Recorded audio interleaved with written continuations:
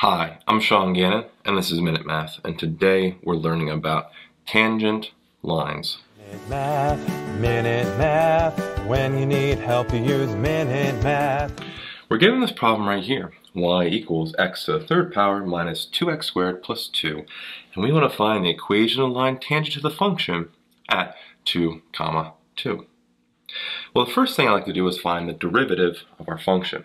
Let's call it f prime of x, and it's equal to power rule 3x squared minus 2 times 2 is a 4, 4x, subtract the exponents by 1, which is a 1, and the derivative of 2 is 0. So our derivative is pretty easy here to find, but we want to find the slope there. Well, the slope, we take our x value, which is at 2, and plug it in for x.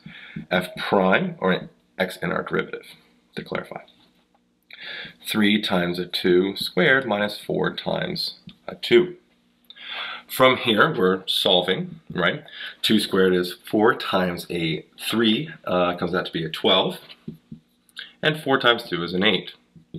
12 minus 8 gives us a 4. And so our uh, derivative here at 2 is 4, which is equal to our slope. Well, now we want to find our b value. So we use our formula y equals mx plus b, 2 is in for y, is equal to our slope, 4 times our x value, which is 2 again, plus b. 4 times 2 is 8, plus b. Subtract an 8 to both sides, and b is a negative 6.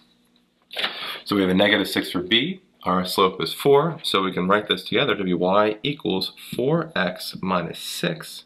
And right there is the equation of the line tangent to the function at 2 comma 2, and again it's y equals 4x minus 6.